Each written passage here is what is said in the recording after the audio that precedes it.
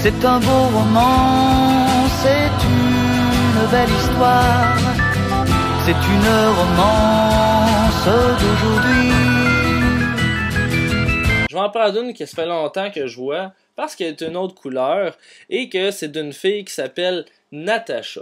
Et malgré euh, toute la connotation sexuelle, j'ai pas ça comme nom. Puis là, j'essaie de chercher quelle Natacha. Elle me laisse son numéro. Écris-moi s'il vous plaît. Donc, c'est peut-être. Ok, je sais ça, je sais pas. Qui est Natacha? On se lance. Allô Simon, comment ça file? Moi, j'ai boosté ma machine à coudre. Puis là, je me fais un chandail. Sans joke, ça va super bien. Comment vont les amours? Moi, je vole sur un nuage. Faut que j'aille me chercher une brique pour pas voler. Je pense que je vais aller parker mon nuage dehors, excuse ce moment de folie, puis les autres qui vont suivre. Puis comment va ta pomme? Chez McDonald's? Moi, la mienne est présentement dans mon ventre. Je vous rassure, je vais travailler chez McDonald's, fait que je comprends pas sa blague.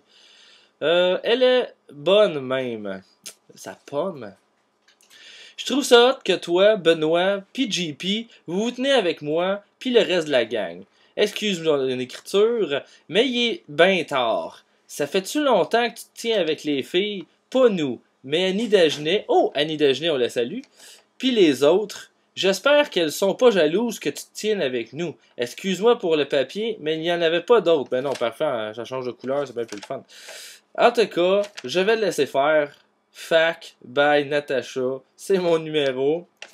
Numéro de Laval. Écris-moi s'il vous plaît. Donc, je sais pas. C'est pas qui Natacha. Franchement, je me rappelle pas de ça. Ils se sont trouvés au bord Sur l'autoroute des vacances.